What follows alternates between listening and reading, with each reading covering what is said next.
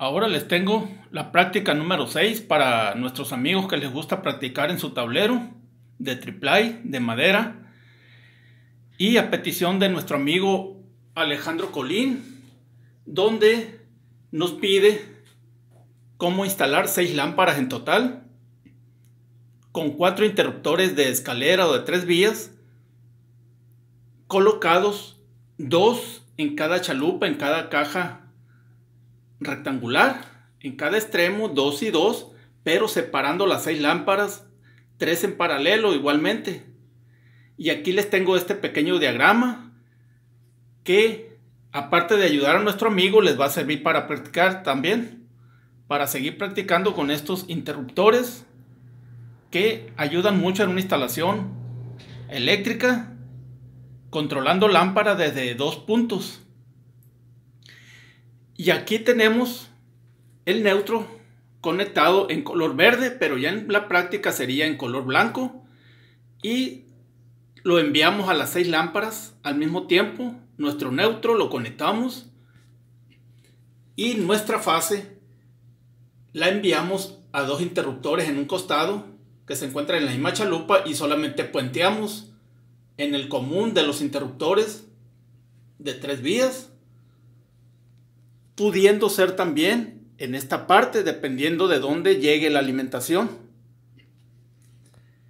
Y aquí hemos colocado en color rojo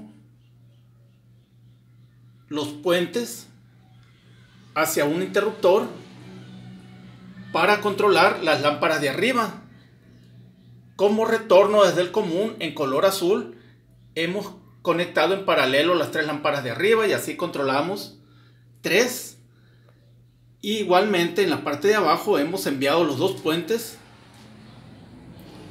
hacia el otro interruptor y en el común hemos enviado el retorno hacia el resto de las tres. Esta instalación la hemos hecho con el método de puentes. El método de cortocircuito no se recomienda, no es recomendable. Aunque aquí en México no está prohibido porque no hay inspección, pero es muy peligroso principalmente para personas que apenas inician, que tienen poca experiencia. Así les muestro este pequeño diagrama para practicar y ayudando a nuestro amigo Alejandro Colín. Lo podemos hacer, este trabajo, esta práctica con cable calibre 14, puesto que son nada más lámparas y no hay un gran consumo. En la parte de abajo es algo muy básico. Realmente o tal vez no entendí la pregunta de nuestro amigo Jaime Martínez, pero vamos a tratar de ayudarle.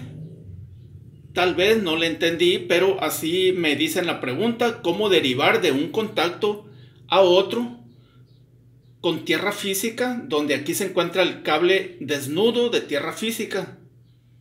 Y aquí simplemente estamos puenteando de un contacto a otro con calibre 12, como lo mostré aquí, calibre 12 y derivar de un contacto a otro con tierra física con cable desnudo. Así me dice él en su comentario. Y aquí estoy mostrando dos contactos donde en la ranura más amplia tenemos el neutro y en la más pequeña la fase. Y aquí conectaríamos la tierra física.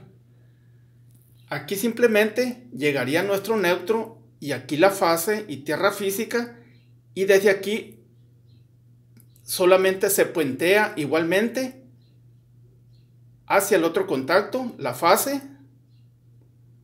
Igualmente aquí aunque solamente con un cable que se conecte aquí ya está puenteado automáticamente este tipo de contactos. Igualmente aquí, al llegar el neutro, simplemente puenteamos y automáticamente ya está puenteado, pero podemos hacerlo así, formar un puente si gustan, muchos lo hacen así. En lo personal solamente coloco un cable, de aquí puentean y de aquí se deriva y se forma otro puente.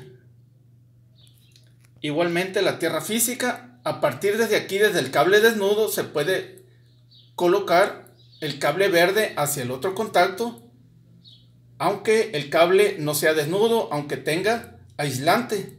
De esta manera muy fácil, es algo muy fácil, de lo más básico que pueda haber, el derivar de un contacto hacia otro, pero tratamos de ayudar en lo poco que podemos a nuestros amigos que apenas inician y que quieren hacer sus propios trabajos en sus hogares. Esta es la práctica 6. Espero y sea de utilidad. Saludos.